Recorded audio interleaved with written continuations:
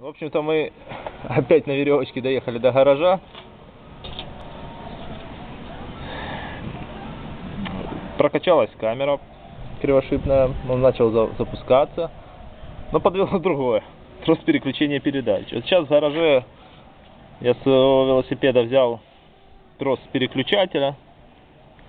Ну, Кстати, на тест будет, ну, он, конечно, не так вот для сравнения вот вот это вот светленький это трос велосипедный. Темненький это тот рост который стоял. В общем-то если присмотреться там разница может ну в полмиллиметра если будет то это хорошо. Вот а эффект посмотрим. Бабышку мне негде сейчас напаивать некогда. Ну, сейчас проверим. Будем если что завершать наш мега челлендж